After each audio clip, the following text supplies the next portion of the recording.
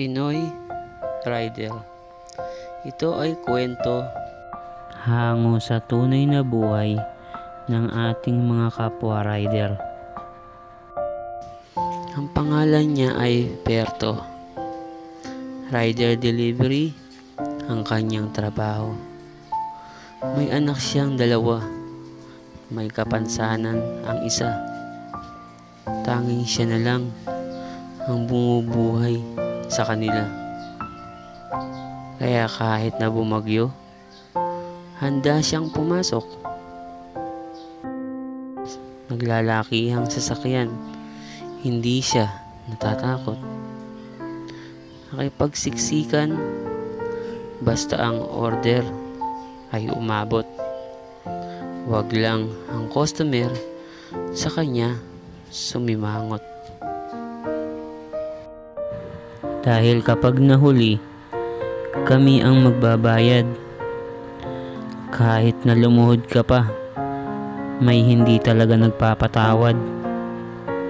Hindi nila alam, kalahati ng katawan natin parang sa impyerno nakasayad. Buhay ang kapalit kapag hindi tayo pinalad. Oo, alam namin. Kapag wala kayo, wala kaming trabaho.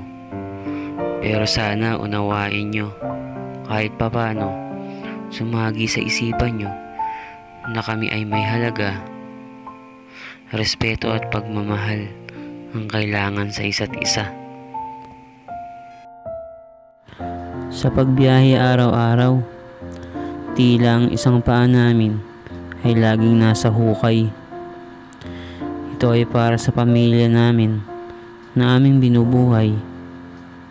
Sa bawat biyahe namin ay di alintana ang pagod at mga panganib na sa amin na laging nakaabang.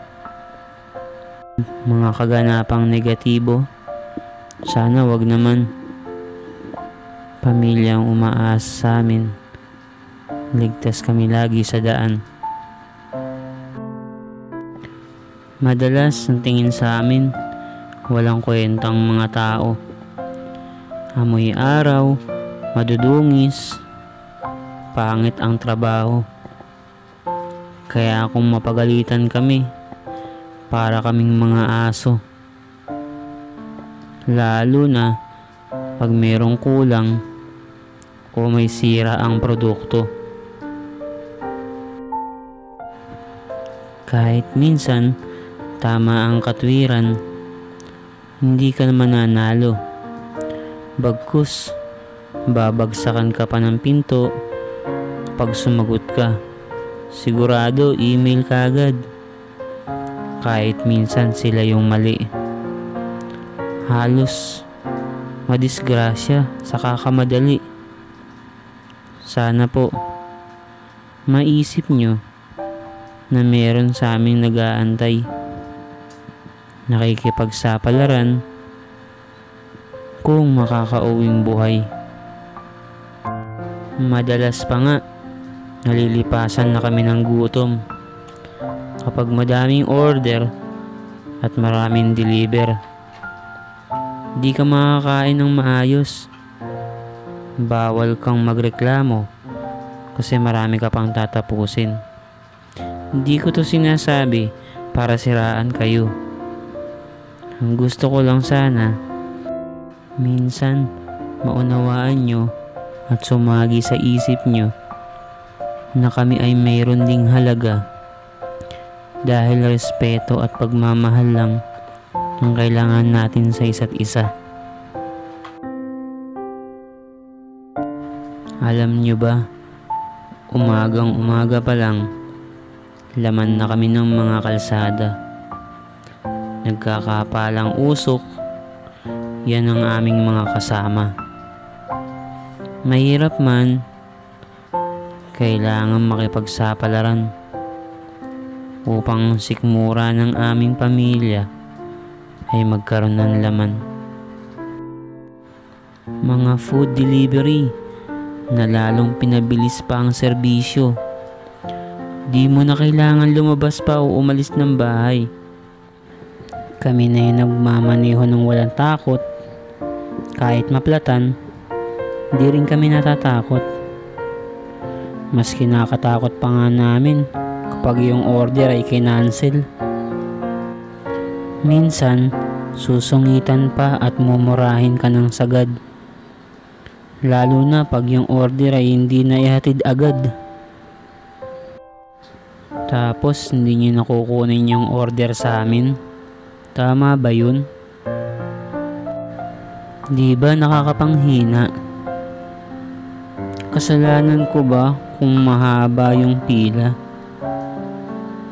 May mga rider na nagtatrabaho at naghahatid ng pasahero upang sa traffic ay maitawid kayo.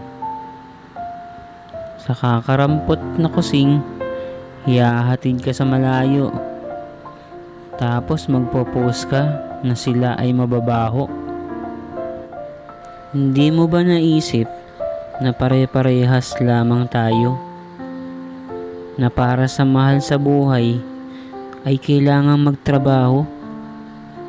May lubak man ang daan, walang takot na sinusuong upang ang anak namin ay hindi makaranas ng gutom. Kahit tila nasa hukay ng mga kabilang paa, pagmamahal sa trabaho, bakas sa aming mga mata.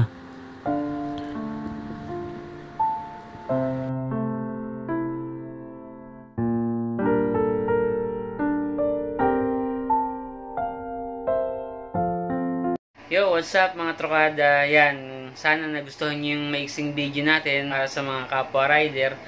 Ah, ngayon, kung bago ka pa lang sa YouTube channel ko, don't forget like and subscribe.